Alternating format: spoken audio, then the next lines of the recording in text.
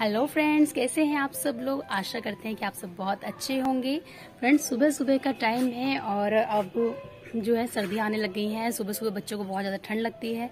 तो मैंने सोचा, क्यों ना चलो, आज गर्म कपड़े निकाल लेती हूँ। कई दिन से सोच रही थी, लेकिन समझ ही नहीं आ रहा था, गर्म कपड़े निकालूं या नहीं निकालूं, क्योंकि सिर्फ़ मौसम सुबह सुबह ठंडा होता है, फिर पूरे दिन गर्मी रहती है, बहुत ज़्यादा गर्मी हुई रहती है। तो लेकिन आज सुबह सुबह मैंने देखा, बच्चों को ज़्यादा ठंड सी लग रही थी तो मैंने कहा, चलो, इनके गर्म कपड़े निकाल लेती हूँ। तो मैं छत पे आ गई थी, बहुत सारे गर्म कपड़े लेके आई हूँ बच्चों के, और सभी छत पे आ गए हैं, दिव्यांशी, इसके पापा, और आरव अपनी साइकिल ठीक करवा रहा है अपने पापा से। तो छत पे आ गए तो फ्रेंड्स देखते हैं, सारे कपड़ों को धूप लगा लेते हैं, क्योंकि धूप लगने से ना थोड़ी स्मेल सी निकल जाती है। उसके बाद जो भी कपड़े मुझे लगेंगे कि धुल धुलने हैं, वैसे तो सब धो धो के ही रखे थे उस टाइम पे, अच्छे से मैंने पैक करके रख दिए थे। तो अब सब कपड़ों को छत पे ले आए हैं और इन्हें थोड़ी सी धूप लगा देंगे। थोड़ी सी स्मेल सी निकल जाएगी, काफ़ी टाइम से रखे रखे स्मेल हो जाती है।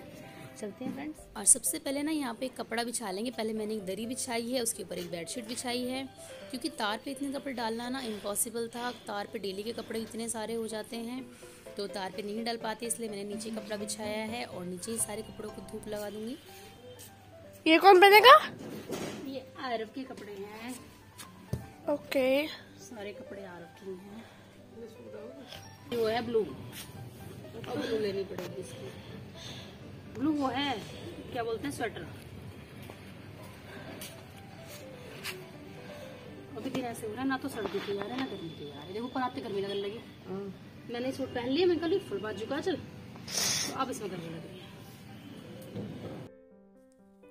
सारे बच्चों के ना कपड़े यहीं पे डाल दिए थे। मैंने दिव्यांशी और आरव के ज़्यादा कपड़े निकाले थे, क्योंकि छोटे बच्चों को ना सर्दी ज़्यादा लगती है और जल्दी लग जाती है। अभी तो सर्दियाँ ढंग से आई भी नहीं है और बच्चे अभी से बीमार बीमार होने शुरू हो गए हैं। तो इसलिए मैंने कहा, चलो, ठीक है, पहले इनके कपड़े वपड़े निकाल देती हूँ। थोड़े से कपड़े दिव्यांशी के पापा के भी निकाले थे, एक दो स्वेटर और थोड़े से वुलन की टी शर्ट वगैरह।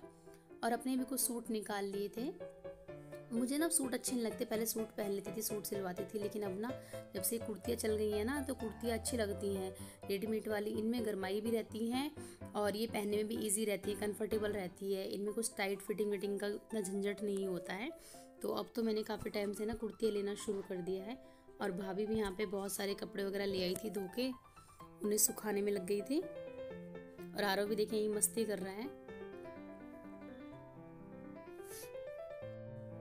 कहने को तो ना इतने सारे कपड़े हैं, लेकिन अगर आप कहीं चलने लगो ना तो आप एक कपड़े नहीं मिल सकते बिल्कुल भी। सब कहते हैं यार हमारे पे तो कपड़े ही नहीं है, कपड़े ही नहीं है, और सही बताओ ना, अलमारी में रखने को भी जगह नहीं है। अभी मुझे समझ में नहीं आ रहा कि इन कपड़ों को रखूँगी कहाँ, निकाल तो लिए है मैंने, क्योंकि अभी तो गर्मी के कपड़े ही नहीं रखे गए हैं। अभी समझ में नहीं आ रहा कैसा मौसम चल रहा है, गर्मी का भी है, सर्दी का भी है, कभी ठंड सी लग रही है, कभी गर्मी लग रही है। तो देखते हैं, चलो क्या होता है, फ़िलहाल तो इनमें धूप लगा ली है। और देखो आज मैंने कपड़े निकाले धूप भी मरी मरी आज बच्चों का मन कर रहा था कि वो बनाना मटर पनीर।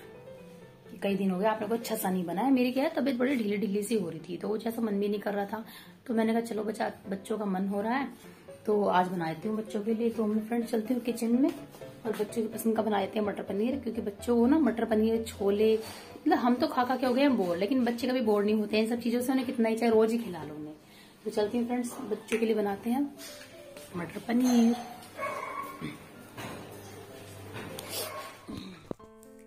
तो यहाँ पे चलते हैं फ्रेंड्स, तैयारी करते हैं और यहाँ पे भाभी ने पहले ही काट के रख रखे थे प्याज और टमाटर। भाभी ने कहा था कि मटर पनीर बनाएगी तो ही क्योंकि तू अच्छा बनाती है। बच्चों को मेरे हाथ की सब्ज़ी ज़्यादा अच्छी लगती है मतलब ऐसी सब्ज़ी मटर पनीर वगैरह। बाकी सब्ज़ी तो भाभी सब कुछ अच्छा ही बनाती है। और मतलब ये कई तरीके से बनता है, बहुत से लोग ऐसे प्याज टमाटर को पीस के डायरेक्ट भी छोक देते हैं। लेकिन बच्चों को ना इस तरह से अच्छा लगता है, पहले मैं प्याज और टमाटर को अच्छे से भून लेती हूँ और फिर उनको ना मतलब एक भाप में पका लेती हूँ, उसके बाद उसको ग्राइंड करती हूँ। तो मैं इस तरह से बनाती हूँ, ज़्यादातर वैसे इस तरह से शाही पनीर बनता है, लेकिन बच्चों को मटर पनीर भी अब इसी तरीके से ही अच्छा लगने लगा है। तो मैंने कहा, चलो इसी तरीके से बनाए तो जैसे बच्चों को अच्छा लगे, ताकि बच्चे पेट भर के खा ले और उन्हें संतुष्टि सी हो जाए थोड़ी। तो मैं ना इसी तरीके से बना देती हूँ। पहले इनको प्याज को अच्छे से भून लिया था, फिर इसमें टमाटर डाल दिए हैं। और फिर इसमें ना थोड़ा सा नमक डाल के, पानी डाल के इसको अच्छे से ढक के रख देंगे ताकि ये गल जाए, टमाटर वगैरह अच्छे से गल जाए इसमें। और उसके बाद फिर इसको ग्राइंड करेंगे। इसको अच्छे से पीस के ना उसके बाद तड़का लगाएँगे फिर हम। और इसके बाद में ना फिर थोड़ा सा बेसन भून लेते हैं। बेसन भी भून के डाल देती हूँ क्योंकि बच्चों को ना यहाँ पे ग्रेवी ज़्यादा पसंद है। मतलब मटर पनीर चाहे कम हो, पनीर भी चाहे छोटा ही हो, लेकिन ग्रेवी उन्हें ज़्यादा अच्छी लगती है तो थोड़ा सा मैंने बेसन भी भून लिया है यहाँ पे। बेसन भूनने के बाद ही उसमें डाल दूँगी ग्रेवी में तो इससे थोड़ी ग्रेवी थिक हो जाती है। और मैंने यहाँ से बेसन भून के निकाल लिया था और इसी कढ़ाई में ही थोड़ा सा तेल गरम करके और ये जो मैंने प्याज टमाटर भुने थे ना, इनको अच्छे से ग्राइंड कर लूँगी। इससे क्या होता है ना, बिल्कुल अच्छे से मतलब बरीक पीस जाता है, इसका ये फ़ायदा तो हाँ होता है। कि उन्हें ना? मतलब कोई भी हो, सब्ज़ी उसमें जाते मोटे मोटे टमाटर अच्छे नहीं लगते हैं बच्चों को। बिल्कुल एकदम फाइन पेस्ट होना चाहिए तो मैं इसी तरह से ग्राइंड कर लेती हूँ। इससे बिल्कुल अच्छे से एकदम पिस जाता है टमाटर, प्याज। और यहाँ पे थोड़ा सा जीरा डाल के, जब जीरा भुन जाएगा तो इसमें हम प्याज, टमाटर का पेस्ट भी डाल लेंगे थोड़ा सा हींग भी डाल लेंगे। यहाँ पे मैंने डाल दिया है, जितना भी सारा बनाया था ना, सारा पेस्ट डाल दिया है। और इसको अच्छे से चलाएँगे, इसमें सारे मसाले वगैरह डाल देंगे।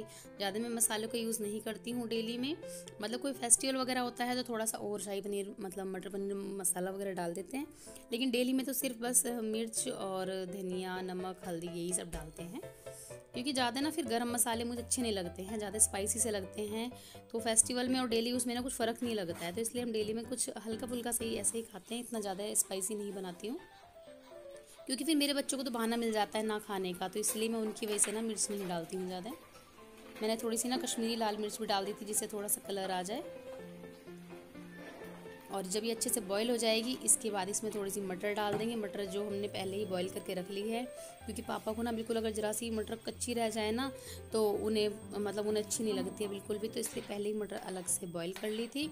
मैंने इसमें बेसन भी डाल दिया है। बेसन डालने से ना ग्रेवी देखिए कितनी थिक हो गई है। अब इसमें थोड़ा सा पानी ऐड कर देंगे। क्योंकि अभी इसमें बॉयल भी आना है। बॉयल आने के बाद इसमें मटर वगैरह डाल देंगे। और जब मटर अच्छे से गल जाएगी तो उसके बाद फिर इसमें पनीर भी डाल देंगे। और जब कोई ऐसी सब्ज़ी बनती है तो बच्चों को जल्दी भूख लग जाती है, इसलिए बच्चे दो तीन बार यहाँ पे होके भी चले गए थे। पता नहीं बच्चों को तो क्या इनमें मतलब क्या अच्छा लगता है, मटर पनीर, छोले, वोले। भिंडी, यही है हमारे बच्चों की तो फेवरेट डिश और अभी जैसे सर्दी आ जाएँगी तो बस अभी बल्कि दिव्यांश कई दिन से जीत कर रही है कि मम्मी वो बनाओ इडली, सांभर. मैंने कहा, ठीक है, किसी मौसम अच्छा सा होगा तो बना लेंगे. और यहाँ पे हमने इसमें फिर पनीर भी डाल दिया है और अब थोड़ी सी कश्मीरी लाल मिर्च डाल के अब हमारा ये मटर पनीर रेडी हो गया है फ्रेंड्स और बच्चे भी खाने के लिए तैयार हैं तो फ्रेंड्स मैं बच्चों की थाली लगा देती हूँ। और आपको कैसा लगा हमारा मटर पनीर और हमारा ब्लॉग दोनों कमेंट करके ज़रूर बताइएगा। और फ्रेंड्स मिलते हैं अपने नेक्स्ट वीडियो में। तब तक आप खाना एंजॉय कीजिए। और अगर आपको हमारी वीडियो अच्छी लगी हो तो उसको लाइक शेयर एंड कमेंट करना ना भूलें। Bye bye